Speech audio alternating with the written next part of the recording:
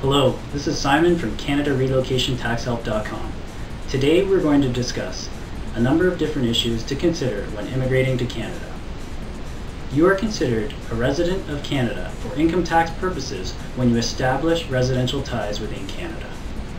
Residential ties are usually established when you've applied for and received permanent resident status from Citizenship and Immigration Canada or you have received approval in principle from Citizenship and Immigration Canada to stay in Canada, or you're a person in need of protection.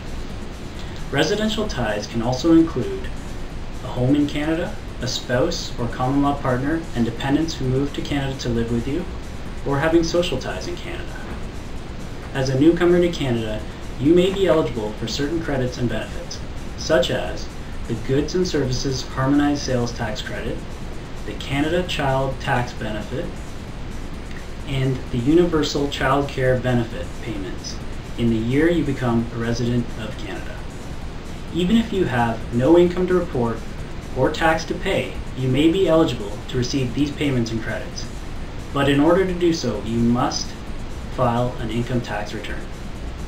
If you are relocating or have recently relocated to Canada, please contact us at 416-626-2727 or by email at taxes at savetaxpro.com.